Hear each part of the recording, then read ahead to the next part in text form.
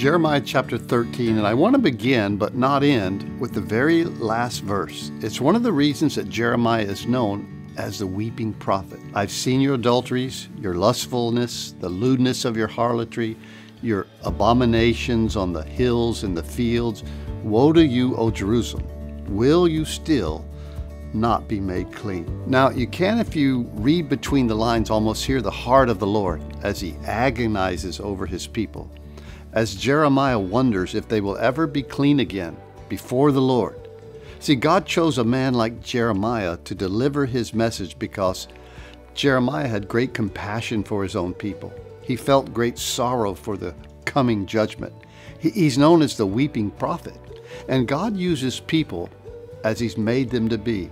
See, God's amazingly versatile. He's filled with creativity and variety, and so are the people He created his prophets. He has the strong, he has the tender, he has the compassionate, and he will use the personality and the temperament that he has given you to share. As you share his word, his heart, well, Jeremiah is compassionate, the weeping prophet. He shares the strong word of God's coming and correction, but he uses a tender heart. In fact, in the very beginning of the chapter, there's a picture, a parable of a loincloth. Thus the Lord said to me, Go and get yourself a linen sash or a loincloth and put it around your waist, but do not put it in the water. So I got a sash according to the word of the Lord, put it around my waist, and the word of the Lord came to me a second time. Take the sash that you acquired, which is around your waist, arise, go to the Euphrates, and hide it there in a hole in a rock. Now he would later come back and retrieve the cloth and it would be moldy and unfit for use. It's a picture of Israel, once close to God, but now unusable through disobedience and idolatry. Chapter 13 full of imagery and reality of God's heart and his justice. Now, what's our takeaway?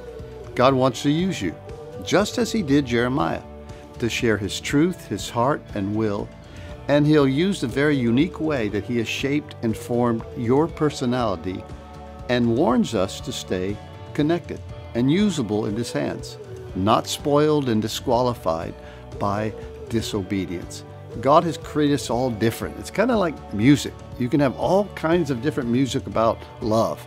There's rap, there's country, there's, you know, just a myriad of different. And God takes these different musicians and expresses, well, their personality's been given to them somehow, some way. And it's the same with you and I. Some people can share the truth with you and it's very, man, straight and direct. Some have a tender heart in the way they do it, but the message is the same.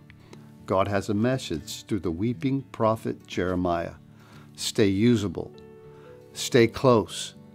Don't disqualify yourself because God is worthy to be served.